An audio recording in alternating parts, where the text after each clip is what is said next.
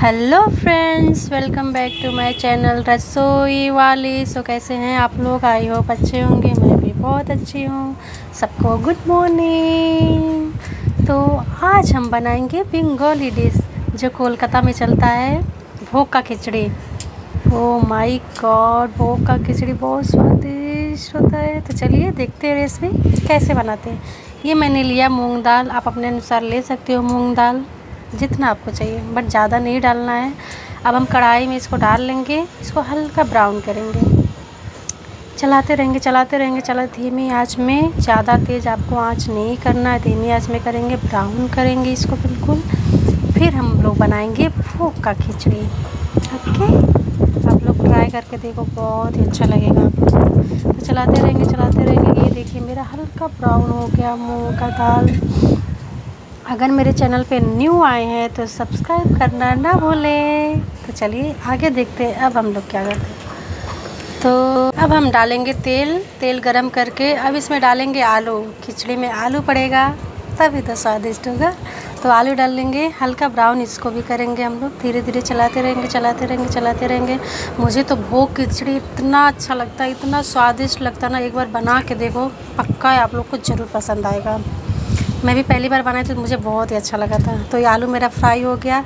अब हम डालेंगे लौंग, इलायची, दालचीनी। इसको हम लोग हल्का ब्राउन करेंगे। धीमी आँच में, देखिए हो गया। अब मैंने लिया लहसुन, प्याज और मिर्चा। आप अपने अनुसार डाल सकते हो मिर्चा, जितना आपको तीखा चाहिए। और प्याज भी डाल सकते हो अपने अनुसार, मैंने तो अपने हिसाब से डाला है। तो इसको हम लोग हल्का ब्राउन करेंगे, अच्छे से भून लेंगे, चलाते रहेंगे चलाते रहेंगे चलाते रहेंगे चलाते रहेंगे। तो अब चलिए, अब क्या डालेंगे हम लोग?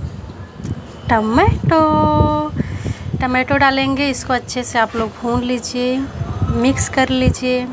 टमाटो भी हमारे सारे सब्ज़ी को अच्छा बनाता है। तो खिचड़ी में तो बिल्कुल पड़ना भी तो चाहिए। तो ये हो गया, थोड़ा सा हल्का गल गया टमाटो। तो अब डालेंगे हल्दी। हल्दी डाल के अच्छे से भून लेंगे इसको। चलाते रहेंगे चलाते रहेंगे चलाते रहेंगे। अब अब अब डालेंगे थोड़ा सा गरम मसाला। गरम मसाला तो ज़रूरी होता है, तभी स्वादिष्ट बनता है गरम मसाला। ये गरम मसाला मेरे घर का खुद बनाया हुआ है तो आप बना सकते हो अपने घर पे भी। ये मैंने डाला जीरा पाउडर। हल्का जीरा पाउडर, ज़्यादा आपको मात्रा नहीं डालना है मसाला, बट हल्का हल्का डालना है आपको। ये है धनिया पाउडर। थोड़ा सा मैंने धनिया पाउडर डाला, थोड़ा पानी डाल दीजिए। अब चलाते रहिए चलाते रहिए चलाते रहिए, जब तक ये मसाला भून न जाए अच्छे से। अब इसको जो टमाटो हम लोग अच्छे से कूच लेंगे इसको, जिससे हम चला रहे हैं, उससे कूच लेंगे अच्छे से। देखिए, मेरा एकदम मिक्स हो गया। ये हो गया हमारा मसाला रेडी तो अब हम जो आलू फ्राई किए थे, उसमें डाल लेंगे और अच्छे से चलाएँगे, इसको मिक्स करेंगे। चलाते रहेंगे चलाते रहेंगे चलाते रहेंगे। ये देखिए, मैंने लिया गोविंदो भोग चावल। उसमें जो मूंग दाल मैंने फ्राई किया था, उसमें डाल दिया, जो भुना था। गोविंदो भोग का ही खिचड़ी बनता है। तो आप लोग को गोविंदो भोग चावल लेना है, क्योंकि और चावल लोगे तो अच्छा नहीं बनेगा। गोविंदो भोग खिचड़ी तो गोविंदो भोग चावल तो रहना चाहिए ना, इसी से बनता है। तो इसको डाल के अच्छे से हम लोग चलाएँगे, चलाते रहेंगे चले सारा मिक्स कर लेंगे एक में। ये देखिए, पूरा मैंने मिक्स कर लिया। अब हम डालेंगे पानी। पानी थोड़ा ज़्यादा डालिए, क्योंकि ये बॉईल होगा, तभी जाके होगा अच्छे से। थोड़ा पानी आपको ज़्यादा डालना पड़ेगा। अब अच्छे से मिला लीजिए आप लोग।